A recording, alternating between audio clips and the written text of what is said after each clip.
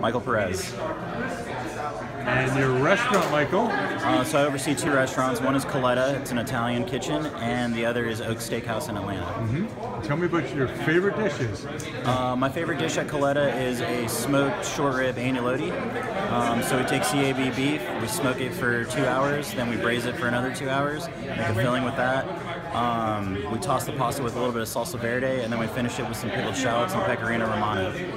Um, over at Oak Steakhouse, one of my favorite dishes is our mixed grill that we do.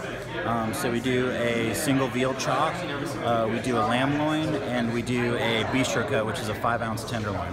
I want it. Thank you very much. Yeah.